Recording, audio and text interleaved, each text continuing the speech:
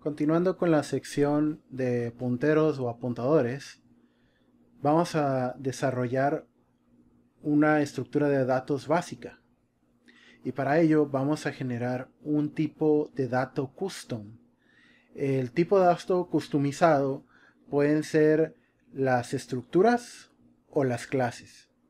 Ambas básicamente son lo mismo.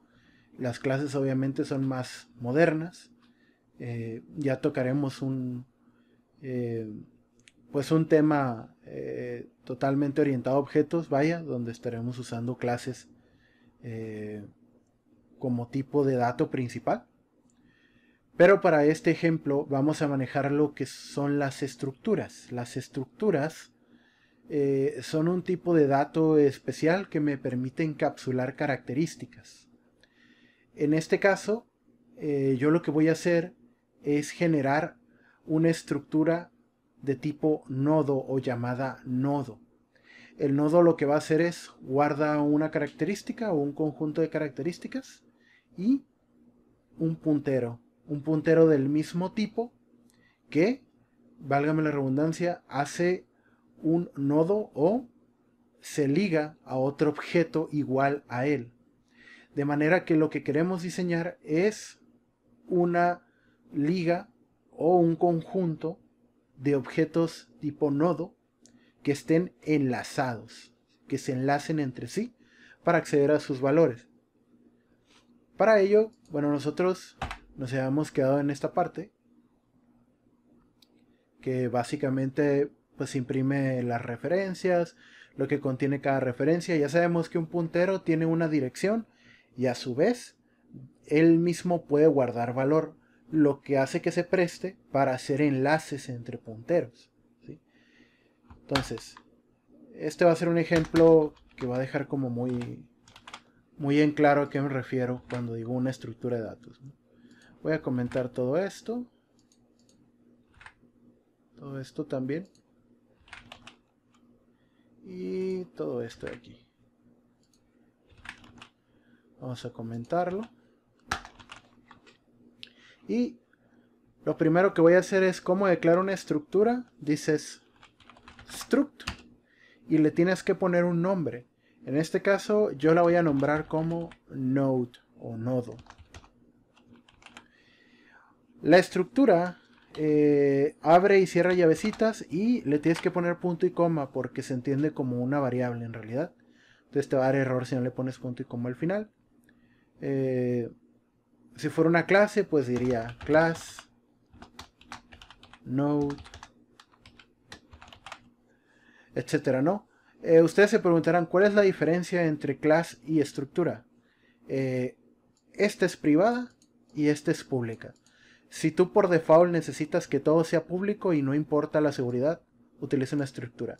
Si tú necesitas seguridad por default y quieres utilizar getters, setters, eh, que algo sea abstracto, ese, todo ese tipo de características de las clases, necesitas utilizar una clase. Pero en sí, en, resumen, son básicamente lo mismo. La gran diferencia es esto es privado, este es público. Ya iremos viendo cuándo necesitamos uno y cuándo necesitamos otro. Puedo hacer cosas privadas adentro de una estructura así. Y también puedo hacer cosas públicas adentro de una clase. Pero por default en la estructura todo es público y en la clase todo es privado. Ahora, la estructura puede tener un conjunto de características, por ejemplo, puede tener variables enteras, variables de tipo string, char, bool, lo que tú quieras. Puedes declarar toda una lista de variables aquí adentro y van a formar parte de nuestro nodo. En mi caso yo voy a necesitar dos cosas. Una, un valor que yo quiera guardar.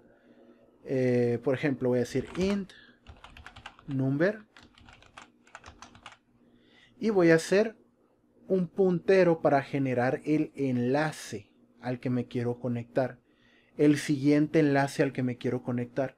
En este caso voy a decir nodo, o sea, el mismo tipo que estoy generando, asterisco, y este yo le puedo poner next node, nodo también, o next pointer, lo que sea, ¿no? Yo lo voy a llamar next ptr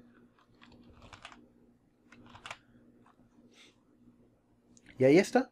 Esta es una estructura. De hecho, si yo lo genero aquí, lo voy a utilizar con la palabra reservada new, eh, que me permite llamar algo que se llama constructor. De hecho, tenemos que generar. El constructor lo que hace, voy aquí voy a decir el nombre de la estructura o de la clase en este caso, paréntesis. Si esto fuera una clase, aquí debería ser public, pero como estoy en una estructura, pues todo es público en la estructura, así que no importa. Aquí lo único que le estoy diciendo es que cuando yo lo genere esto en la memoria, cuando yo le diga que lo cree, un nuevo nodo, eh, yo le voy a dar reglas de cómo lo va a crear. Por ejemplo, yo necesito que me digas cuánto vale un número, ¿no? Necesito que me des un dato y necesito que me digas hacia dónde estoy apuntando. En este caso yo le voy a poner el mismo nombre, que es number, y voy a decirle node, nodo, el apuntador, next, Peter, next pointer.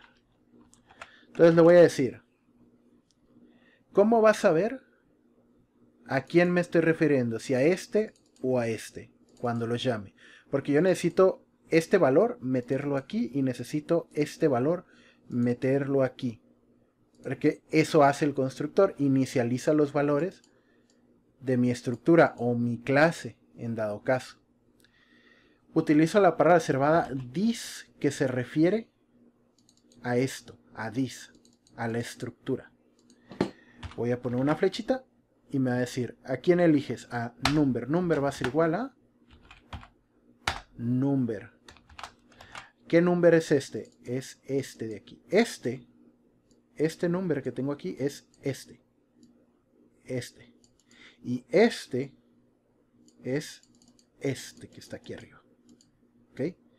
Cuando digo this me estoy refiriendo al de la estructura o la clase, cualquiera de las dos. This se refiere a este, this number. Y este, cuando lo llamo así solo, lo estoy llamando en este contexto, en el del constructor. ¿ok? Es lo mismo para el puntero. Si yo digo this, me estoy refiriendo a node, a este pointer va a ser igual a next pointer. Y es todo. Ya tengo un puntero vacío, eh, perdón, eh, ya tengo un constructor. Podría tener un segundo constructor eh, que esté vacío por si acaso. Podría ser. Hacer un constructor vacío significa que lo puedo declarar como new eh, paréntesis así, sin enviarle esto. Tengo dos maneras de inicializarlo, así o mandándole nada. Cualquiera de los dos me va a servir. Em, esto obviamente pues tendría que tenerlo inicializado. Este va a ser null pointer, que significa es un puntero vacío. Y es, es exactamente lo mismo que decir nulo, o sea, estás vacío en vez de que tenga información basura, pues simplemente limpiamos esa memoria. Eh, no más que este es el de C++. No recuerdo cuál es la diferencia, pero siempre uso null pointer. Eh, me parece más correcto ya que viene del std. Ahora, em, esto, ¿por qué lo puedo hacer? Por la sobrecarga de los métodos. Eh, puedo tener más de un método que se llame igual, siempre y cuando haya diferencias en sus argumentos en lo que le estoy mandando. Si son diferentes, pues lo puedo aplicar. Puedo o no necesitarlo, ya dependería de cada quien. En este caso tal vez no, no va a ser necesario, pero lo puedo hacer. En el caso de que quiera inicializarlo vacío mi, mi nodo. Ahora, yo lo que puedo hacer aquí, una vez que ya lo creé, es decir, em, node, asterisco, voy a hacer un, nodo, ¿sí? Node se va a llamar. Va a ser igual a, y yo necesito reservar memoria. En C puro utilizaríamos el em, memory allocation o, malloc, malloc, y el C alloc, ¿no? Para, para alojar y desalojar memoria, para alojar y hacer el clear, clear allocation. Memory allocation, clear allocation, para meter y limpiar memoria. Eh, sería una manera, pero en C++ eh, utilizamos el, eh, la palabra reservada o el operador más bien, new. New lo que hace, reserva memoria para una cosa. ¿sí? Aquí ya me va a traer la dirección de eso y lo va a meter aquí, literalmente. Entonces yo voy a decir, yo quiero hacer un new node. Paréntesis y me va a decir, a ver, necesitas dos cosas. Un número y un apuntador. O sea, algo a lo que tienes que apuntar. Entonces yo le voy a decir, ese número, el primero, va a valer 1. Y el puntero ese, por mientras, lo voy a dejar vacío. Lo voy a dejar así. Aquí, esto ya tiene información ya tiene un nodo que su valor es 1, tiene dentro un number que se llama 1 y tiene un puntero que está vacío, que no tiene, no tiene valor alguno. De hecho, si lo pruebo, digo std cout si digo node number std end line punto y coma. Debe de valer 1 ese number 1 y si trato de imprimir ese puntero eh, no recuerdo si en gemas más me va a dar un error porque pues apunta nulo está vacío es un null pointer según yo lo igual a 0 para que no te error una cosa así simplemente me lo, me lo, debería dejar así vacío sin impresión Sí, mira, ese es, es 0. ¿Y por qué es cero? Porque los punteros son, son enteros, son datos enteros, lo dije el video anterior. En realidad un puntero es un int, pero pues puede manejar tipos, pero a nivel memoria ya como tal, al final, al final, al final, es un entero. Y cuando está vacío, significa cero. Eh, eso es lo que le hace el null pointer, ya, ya recordé. Si le pones null así nada más, null, eh, así directo, no recuerdo si también te pone cero. Ah, mira, pues ya te, el G ya te pone cero. Em, bueno, cuando no le pones null ni nada, se supone que quería dar terror, ¿no? Pero por mientras, cuando está vacío, pues es cero, esa cosa. Es un int cero, tal cual. No hay memoria alojada ahí. Está limpio. Entonces, mm, yo lo que quiero hacer aquí es hacer una liga de punteros. Ya vi yo que aquí puedo almacenar otro nodo y adentro de ese otro nodo puedo almacenar otro nodo y otro nodo y otro nodo. Entonces, yo voy a hacer lo siguiente, voy a decir, a ver, node punto flecha nextptr va a ser igual a new y vamos a decir aquí em, node este va a ser 2 coma null ptr. ¿Ok? Y si yo aquí dijera, eh, esto lo voy a comentar. O bueno, lo, puedo utilizar. Esto sí, sí que lo voy a comentar. Si dijera nextptr, ahora.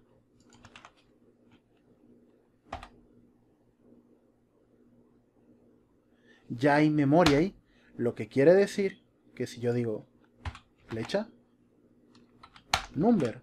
Ahí debería imprimirme dos. Aquí me debería imprimir uno porque es el primer number del nodo.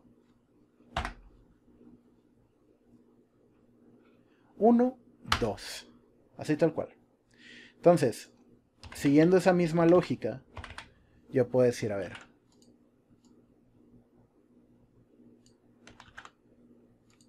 Uno, dos, tres. Y vamos a decir punto igual nextptr este va a ser 3 igual nextptr flecha nextptr y este va a ser 4 ahora aquí me acabo de inventar una estructura de datos este es como el hola mundo de las estructuras. ¿Por qué? porque acabo de enlazar cuatro nodos diferentes. 1, 2, 3, 4 nodos. ¿Ok? El último, obviamente, pues el, el, next apunta a vacío. Entonces, voy a utilizar una pequeña. Eh, un pequeño bloque, un loop especial. Vaya, parecido al for o al for each. El for each todavía no lo hemos visto, pero sí que hemos visto el for. Eh, parecido al for que hace lo siguiente. Se llama while. While lo que hace es repetir hasta que, hasta que algo deje de ocurrir. Mientras la condición sea válida, mientras el booleano ocurre, entonces hazlo. Si yo aquí le digo while true,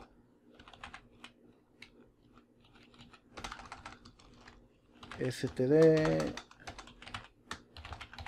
cout do something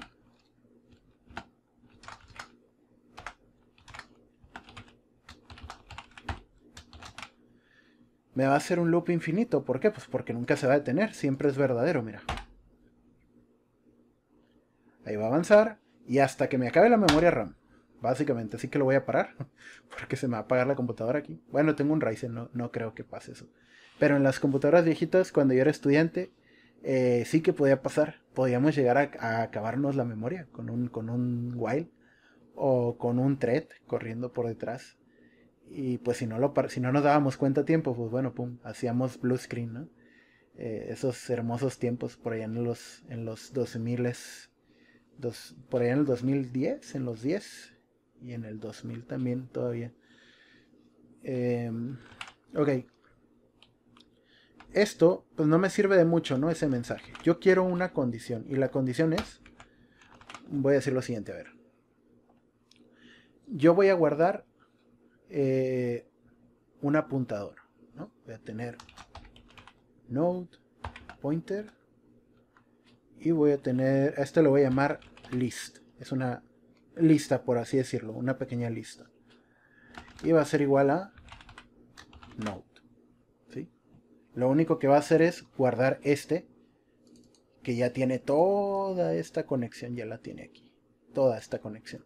Ya está conectadito. Este, desde aquí, desde este primer nodo hasta este último que acabo de hacer, está conectado. Eh, lo puedo recorrer empezando desde aquí hasta llegar a este 4. Y lo voy a mostrar de esta manera. Digo, mientras eh, list o element tiene más sentido. Mi elemento, hay que recorrer los elementos. Ahí está. Mientras el elemento, eh, vaya, tenga valor, o sea, sea válido lo que acabo de guardar ahí. Porque acuérdense, va a llegar un punto en el que el nodo, el siguiente, va a estar vacío. ¿sí? Va a ser, ahora sí que va a ser null pointer. ¿Por qué en este no? Pues porque aquí lo, estoy metiendo, un nuevo nodo, pero en el último jamás le metí en su next, jamás le metí un nuevo, pointer, entonces se quedó null pointer. está vacío, entonces lo voy a recorrer de la siguiente forma, digo. Cada vez que pases element va a ser igual a element.nextPointer. pointer. O sea, lo estoy intercambiando el elemento el nuevo nodo lo estoy intercambiando por el que le sigue, por el siguiente nodo. De modo que la primera pasada va a ser, yo tengo este elemento, ok. De esto que yo tengo, ¿cuál es mi siguiente? Este. Ok, placas. Este es el nuevo. ¿Tiene valor? Sí, porque si lo metí, mira, aquí está. Ok, paso al siguiente y al siguiente y al siguiente hasta que llego a null pointer. Eso es lo que va a hacer. Entonces yo voy a decir std, cout, y voy a imprimir los elementos value of element los puntos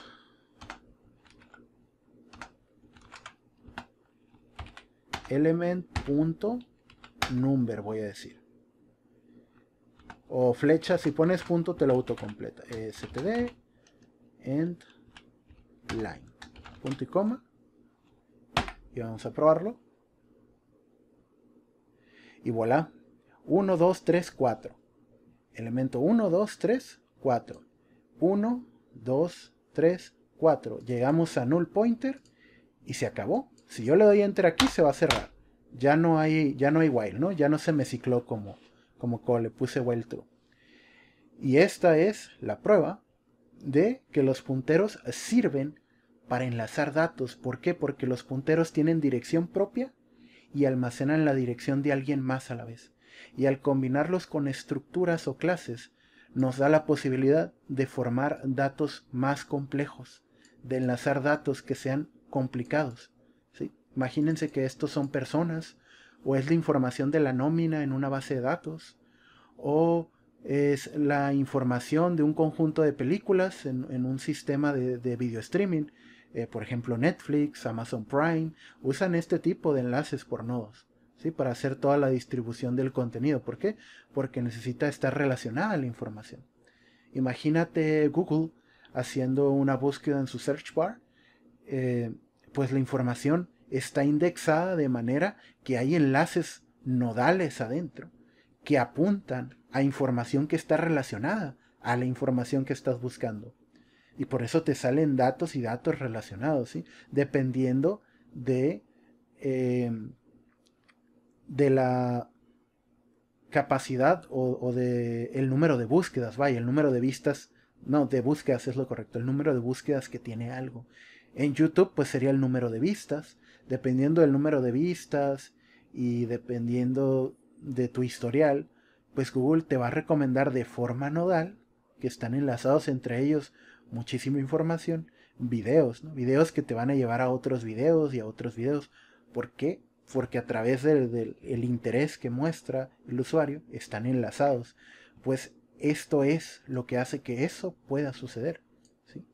Obviamente hay lenguajes avanzados que ya lo, lo hacen de forma abstracta por detrás en el backend pero, por ejemplo, Node.js pues usa sus, add-ons en C++ que sirve precisamente para hacer este tipo de estructuras y llevártelas al, JavaScript. A, lo mejor vas a necesitar mucho poder de cómputo. Entonces lo ideal sería hacer eso.